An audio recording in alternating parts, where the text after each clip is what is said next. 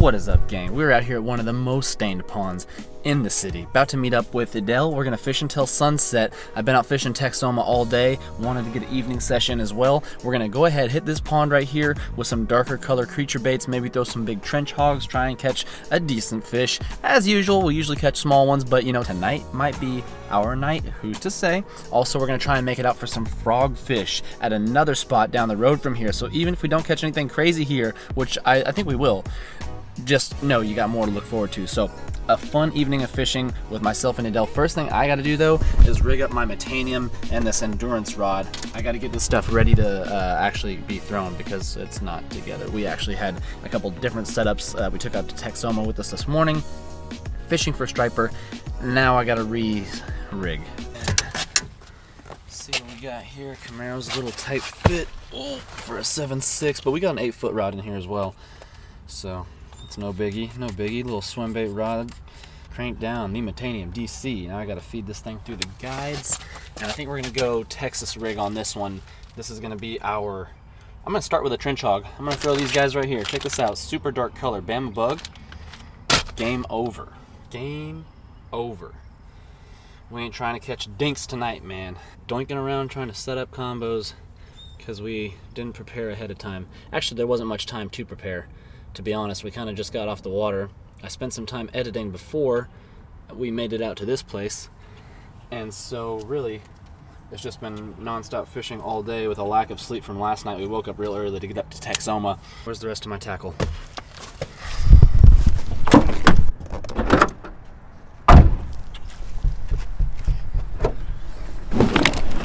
Okay, where were we? Let's get this Got the Googan Squad Bass Mafia ice box. I use this thing right here for all my terminal, at least the majority of it. There's probably some stuff I leave behind. We got a bunch of new quarter ounce weights from Woo Tungsten recently. Where's the quarters? These all look like quarters, but they're not. They're deceiving. Probably be fine with less. Throwing a big old heavy hog. Big old heavy hog. You know what I'm gonna do too? Just for you guys, I'm gonna take the time to pin this baby down with a bobber stop. Whenever you peg your weight, it can help you get through some cover. This spot's got plenty of cover. If I break off one Texas rig, I'm not doing this again. It's just, you know, takes an extra five seconds that I'd rather just uh, have it be unpegged sometimes. Where'd I put that weight now? I'm getting way ahead of myself. What is going on? I'm gonna realize when I watch the footage where I just put it. Did I put it back in here or did I put it on the seat? I'm kidding. Okay, well, I'm about to realize, but I'm grabbing another weight. That might be the same one. I don't know. Big ol' Googan Squad hammer hook. This might be a 5-aught. If that's not a 4-aught, it's a 5-aught. Mmm. Put a hog on here, it's going to look real nice in the water. Palomar knot. Rocking the old fluorocarbon. I could probably go with pure braid, straight braid at this location, though, because it is um, very murky. How you guys liking this little pre-fishing tutorial talk. You know, most of us, we fish these T-rigs all the time. We kind of know what we're doing over here, but anyways, a few little pointers. Don't hurt nobody. So check me out on this weight peg. Now that I've got everything set up, you put your weight peg on first, then you put on your bullet weight or worm weight or whatever. Then you get your hook. You could do EWG. This one's a worm hook. The reason I use worm hooks, I'll show you when the plastic's on here actually. Let me bring this peg down. That way See now my weight's not flowing freely across the line and it's to stay right there pegged up against my plastic. That's to help me get through some cover generally speaking. Some people also argue that it's to help a bass shake it because it's got more leverage with the weight in its mouth when it's shaking. So some people don't peg their weights and are just completely against it. I think just go with the flow. Doesn't matter that much, but uh, it can help you get through cover. And yeah, oh, I found the weight. It was on the seat. Yes! Another woo weight, not lost. Probably five minutes deep into this video without even filming a single cast. Damn, smells good, dudes. Mmm, Trench Hog Bama Bug. This color, I believe this is like Edel's favorite color too. This thing, it slays. The color that you want to be on the bottom when you're creeping your Texas rigs, you, you put that towards the hook when you first start rigging it. That's going to end up being your color on the bottom. So, I'm just going to do this uh, darker color on top. Have the green be the bottom and uh, sometimes if you swim it it flips around and it's like vice versa as opposed to just popping it on the bottom to expose that hook into the plastic. So it helps me get through cover, but also when you go to set that hook, it's gonna it's gonna make sure to get that fish, make sure that weight is pegged right there up against the hog. And that is a beautiful looking Texas rig to hit this pond right here. Now, what I was gonna tell you about that hook, last thing before we hit the water, bear with me is this is a worm it's more of like a worm style hook i would say. It's like a straighter um, the, the, hook is almost like straight here. Now those ewgs tend to go out a little bit and there's benefits there's pros there's cons there's people who will argue. That's not the case of today's video. I kind of like those slimmer profile hooks because there's less protruding from the plastic. Whether it makes a difference or not that's not for me to argue with you guys. I could care less. Let's get to fishing. I'm gonna try and keep it somewhat quiet but i decided to bring the trench hog and the shad chatterbait to start it's nice and calm in here. So like I say, I'm gonna keep it down for a second, see if I can't get a couple hits before I go crazy. As I made those first couple casts, you guys, I noticed that my line is getting close to backlashing essentially. Like it's very loose as it comes off the spool. So I'm imagining when I click this release, it's the, the, the hog is gonna drop really fast. Drops pretty fast. So I'm gonna tighten up that tension, tighten up that knob right there. I wanna get it to where it drops slow. See how it drops slowly now? Now there's way less chance of a backlash. And uh, you just kind of have to judge it based on you know you want to vary these things based on the wind if you're casting into the wind or not. You also might vary this if you're trying to get some distance but right now I'm noticing I'm almost getting a backlash. So by tightening that up a little bit now that line is going to stay a lot. Yeah there we go. That's exactly what we want. It's going to stay tight to that spool on the cast and you don't feel like you're about to get a bird's nest. It's one more pointer today since we're just throwing them out. Why not you know I'm going with the I'm going with what they say works, right? With what you say works. Here's what we're rigged up with, guys. Check us out. Edel was kind enough to lend us an ice white fluke since we left all of our shad colored baits at home. We had taken those out to the lake earlier. Anyways, we're gonna try and uh, link up on a spinner bait, which y'all rarely see me throw out here on this cloudy afternoon. No, I wasn't filming. Y'all just missed the catch of a lifetime. I wasn't filming for that. Holy smoke. Creeped on over here to this little beaver deal cast it into the brush and the coolest catch of 2020 y'all missed but on the hog. Look at that. Wow. Let's get him back in the water and try and get another deal now that we have located where they're at. Rookie mistake Westin it's been happening all day.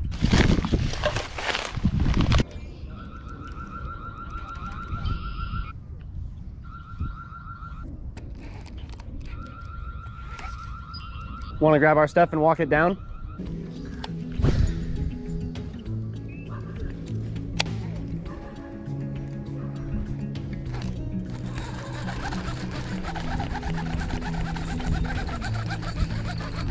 there we go. Spinner bait, little guy, but he hit right off the bat. Way out. See if we can't get another one of those real quick. First hit on this bait. Fluke trailer, you see it? Let's go.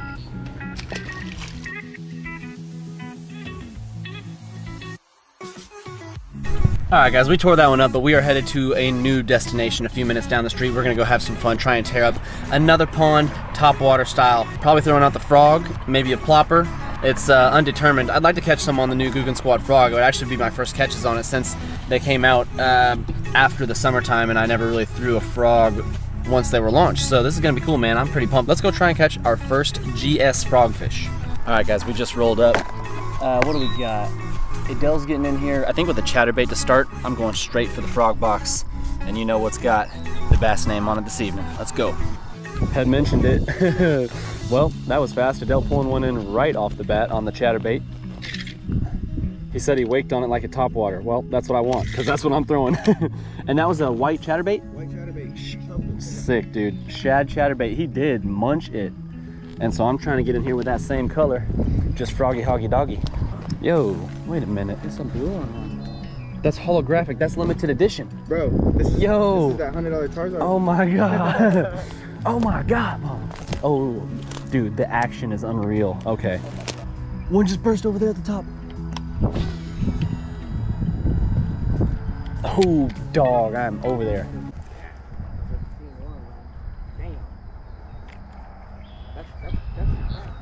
I won't even know if it hits my frog. Oh! Got him! I don't think I do. I oh, he was on there for a second, bro. Such a far hook set. Wait. He's not on there. That was intense. Yo. Oh, goddamn. I really thought I had him for a second. Gave him a little time. You can have your spot back. I was just casting while you were switching. Dill's like, I ain't got the time. Dude, that whole area over there looks so good and calm. Little sprinkle top water bite. That would be nice.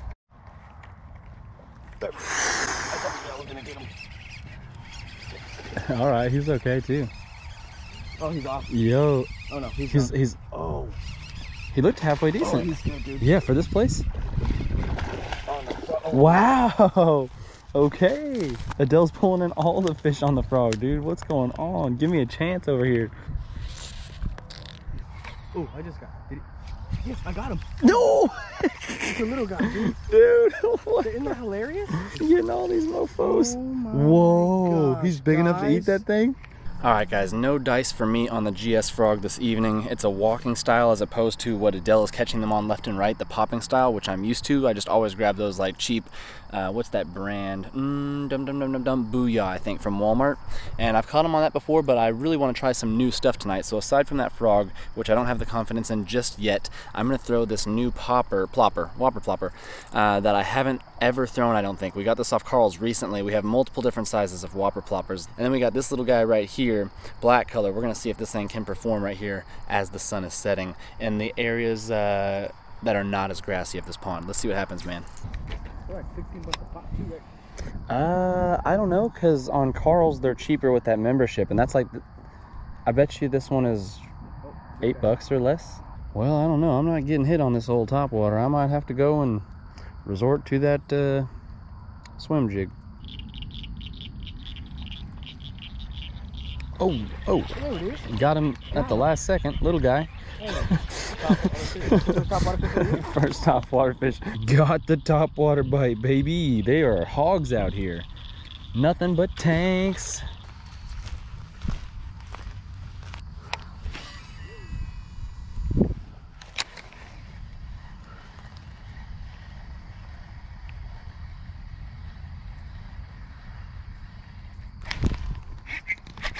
All right, there we go.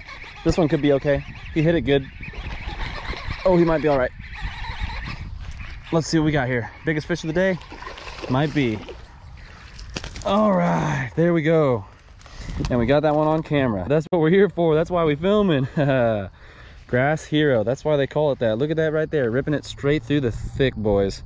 Got the braid. The Brady bunch. Bluegill colored uh, swim jig. Grass Hero with a 3.3 inch saucy swimmer on the back and a natural coloration. Gonna get him back in the water and on his merry way. Cause I got more fish to catch if they're gonna hit before the light fades too much for this GoPro. Yes. That was first cast out into the open with it, but This grass all in this thing. yeah. Oh yeah, I'm the swim jig's about to be hot.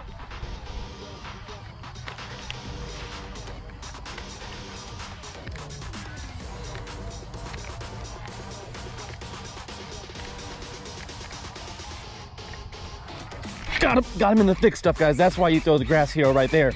Ripped him right out of the grass. That was dope. Guys, we were in the thick stuff, cruising right through it. That's what I'm talking about. Here we go. Bass number two on the swim jig in about three minutes. Let's see if we can't get a few more. We are on a speed mission right now, guys. No time to waste. Let's go. Follow up cast. And I was just popping it like this. Getting it through that thick stuff, creating vibration, getting grass off of it at the same time, popping that skirt. Just a consistent reel and pop with the rod tip has been working so good for me with these swim jigs through thick grass. That was an awesome bite. Probably the most fun bite of the day. What's so crazy about this swim jig is how good it works in ponds that most people would have no clue what to fish with. Like you can just sift through this grass by doing that pop motion as you bring it in. And like half the time I rip straight through this thick stuff. Oh, I just had a bite and he came off because I'm trying to talk to you guys. Dang, I just had a bite and I didn't set the hook. But what happens is you can get right in this grass, work through it. It's so thick. And look, I don't think there's anything on it. Okay, there is a little bit, but I'm telling you what, four out of five times this swim jig is not picking up nothing. It's just insane working it through this grass out here. Well, I did get a bite with it in a place where you're not throwing much but a frog. You see what I'm saying? At least from this angle of the pond, so you can hit certain areas of ponds that most people would never hit. It's just, it's killer, man. Got to grab some grass heroes if you don't throw swim jigs. Don't think of just open water. You know, like if it was open water, maybe I'd be throwing a chatterbait. You know what I'm saying? Maybe I'd be throwing a, I don't know, a spinnerbait. Maybe I'd be throwing a fluke. A, a fluke is probably not going to work here either. You really want that extra vibration of popping this thing and that weight, helping you get through the grass. So this swim jig is just a tool of mass destruction. All right, guys, light is all but faded. We better get out of here. That was super cool. Oh, meow, meow, meow. All right, guys, quick and home recap. We just got back to the crib and we caught fish on a variety of different baits in tonight's fun vlog. I hope you guys enjoyed it. You completely missed the trench hog catch. I'm still not over it, but I've been fishing all day, lack of sleep. I'm ready to get to bed. Home, wash my hands for at least 20 seconds and ready to maybe do the whole thing tomorrow again. Film a video or two. Catch y'all then. Peace.